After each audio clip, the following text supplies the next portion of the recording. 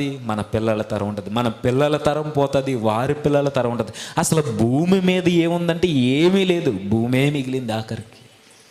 భూమే మిగులుతుంది. సూర్యుడే నిత్యం ఉంటున్నాడు. నదులే నిత్యం పారుతున్నాయి తప్ప దీన్ని అనుభవించి తృప్తి పొందాలనుకున్న మనిషి జీవితంలో అసలు తృప్తి లేదు నిలకడ లేదు స్థిరత్వం లేదు. అసలు క్రొత్తదనం ఏదీ లేదు. అసలు మానవ జీవితాల్లో ఏం జరుగుతుందంటే పుడుతున్నారు చచ్చిపోతున్నారు. పుడుతున్నారు. చచ్చిపోతున్నారు. పుడుతున్నారు చచ్చిపో ఇదే జరుగుతుంది మానవ జీవితంలో. ఈ మధ్య కాలంలో మనం అనుకుంటున్నాం నేను ఏదో సాధించాలి నేను ఏదో చేయాలి ఏవేవో ఆశలు ఏవేవో కలలు. కలలన్నీ కాలగర్భంలో కాటికి పోయి ఈరోజు ఎంతోమంది మరణ శయ్యలపై పోరాడుతున్నారు ఈరోజు.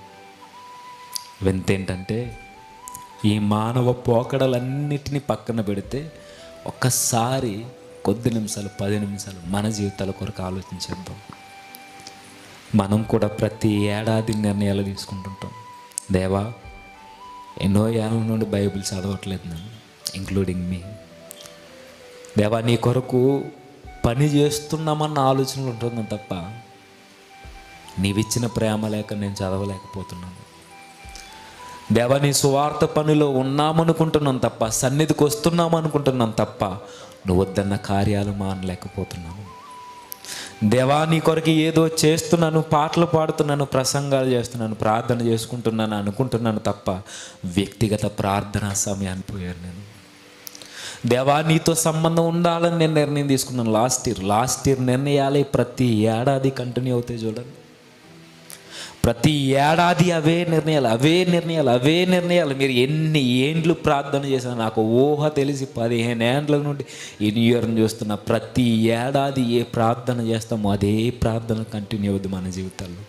ఏమైందంటే అసలు ప్రార్థనలో కూడా క్రొత్తదనం లేదు మనకి. ప్రార్థన జీవితంలో క్రొత్తదనం లేదు వ్యక్తిగత జీవితాల్లో క్రొత్తదనం లేదు దేవునికి మనకి జరుగుతున్న నిబంధనలో క్రొత్తదనం ఏమీ లేదు.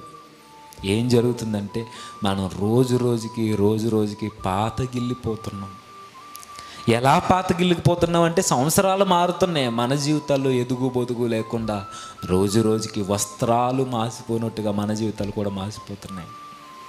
నిర్ణయాలు ఏమవుతున్నాయంటే నిర్ణయాలు నెల రోజులే గట్టిగా ఉంటే. అవునా కదా? నిజాయితీగా. ఈరోజు అన్ని మాటలు విన్న తర్వాత కావచ్చు ఇది అయిన తర్వాత కావచ్చు చాలామంది ఇక్కడ ఉన్నవారు నేను అంటున్నా చాలామంది కొత్త నిర్ణయాలతో ఈరోజు బయటికి వెళ్ళాలని నిర్ణయం తీసుకోవడానికి వచ్చిన వాళ్ళు నేను అడుగుతున్నా ఏ నిర్ణయం తీసుకున్నా ఎంతకాలం? దేవునికి నీకు మధ్య జరుగుతున్న ఈ నిబంధన ఎంతకాలం? ఒక మాట చెబుతా మాట ఇచ్చేడు దేవునికి చాలా సులువు కానీ మాట నిలబెట్టుకోకపోతే ప్రభు అంటాడు మాట తప్పేవారు భ్రష్ట మనసుకి అప్పగింపబడడానికి సిద్ధంగా ఉన్నవారట. మనం ఊరకే మాట తప్పుతాం ఊరకే ఊరకే చిన్ని చిన్ని వాటికే మాట తప్పేస్తాం మనం. దేవా నీ కొరకు అహర్నిశలు కష్టపడతానంటాం ఊరకే మాట తప్పుతాం. ఇక ఈ ఏడాది బైబిల్ కంప్లీట్ చేస్తానంటాం ఊరకే మాట తప్పుతాం. దేవా ఈ ఏడాది నేను మొబైల్లో చూడకూడదు చూడడం మానేస్తానంటాం ఊరకే మాట తప్పుతాం మనం. అబద్ధాలు ఆడనంటాం వెంటనే అబద్ధం ఆడతాం మాట తప్పుతాం మనం. ఇంకా ఏవైతే మనల్ని పట్టి బంధిస్తున్నావో అవన్నీ దేవుని సన్నిధిలో ఒప్పుకొని వెంటనే మాట తప్పుతాం. ఇలా మాట తప్పే వారిని అందరినీ ప్రభు ఏమన్నాడు తెలుసా? రోమిల్కి రాసిన పత్రిక. రోమిల్కి రాసిన పత్రిక మొదటి అధ్యాయం. రోమిల్కి రాసిన పత్రిక మొదటి అధ్యాయం. ముప్పై ఒకటో వచ్చిన ముప్పై ఒకటో.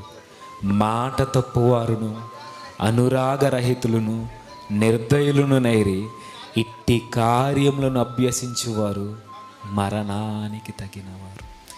ఇంతకన్నా బలమైన మాట దేవుడు వాడడేమో. ఇటు మాట తప్పడం కూడా ప్రభువుకి నచ్చదా అంటే రెండు నాలుకల ద్వారానే కలిగి మాట తప్పేవారు ఆయనకి నచ్చరు ఆయనకి బైబిల్ ఏముందో తెలుసా? నువ్వు మాట ఇవ్వకు